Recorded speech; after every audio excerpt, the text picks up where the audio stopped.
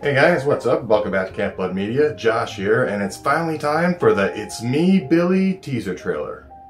Now, if you don't know, It's Me, Billy is a direct sequel to Black Christmas 1974, set nearly 50 years after the original movie. It follows Sam, the granddaughter of Jess from the original, and her and her friends are going to her grandmother's country mansion for Christmas Eve, but little does she know, she's gonna come face to face with Billy, the ghost of her grandmother's Christmas past. Alright guys, I'm super excited for this, so let's get into the trailer.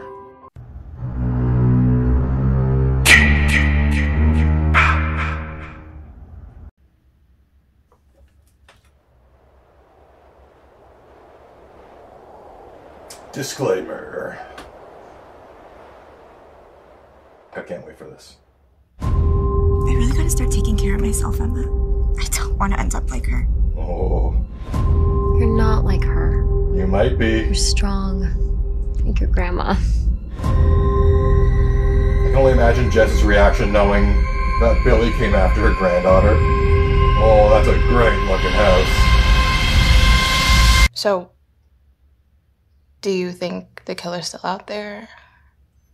A wrinkly old man. Oh no.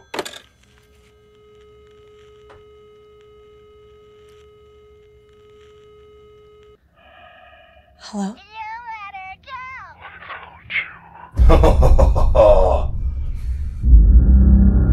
yeah. Fuck, I can't wait for this. Spring 2021, so it's not even that far away.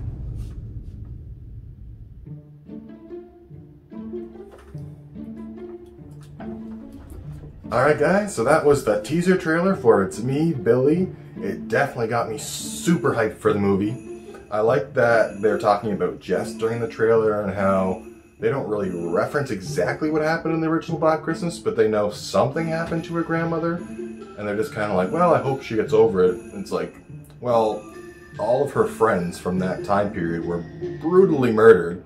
And I guess somehow she managed to get out of the house at the end of Black Christmas because if you guys haven't seen the original Black Christmas, it ends with the killer still being alive. So Jess must have got out of the house at some point between the cops leaving and him still being up in the attic. It'll be interesting to see if there's some sort of like flashback to her escaping Billy once again back in the 70s, or if it's just going to be fully focused on the granddaughter and her friends in present day. It's going to be kind of funny to see if her friends don't take the story that her grandmother told that seriously, because that's a kind of a trope that happens in a lot of horror movies.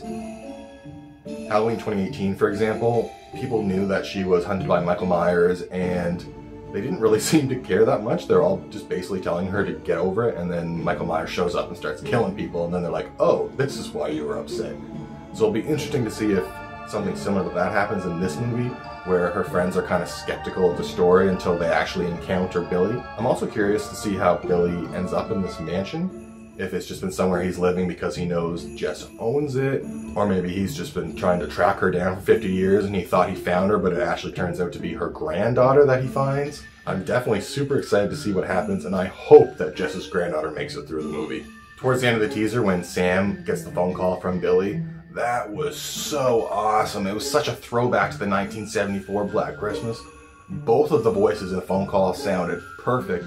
It sounded like he said, I found you, so maybe he does think it's Jess, but maybe at this point, 50 years later, he doesn't give a crap who he's after. He just wants to kill someone from that family to get his revenge.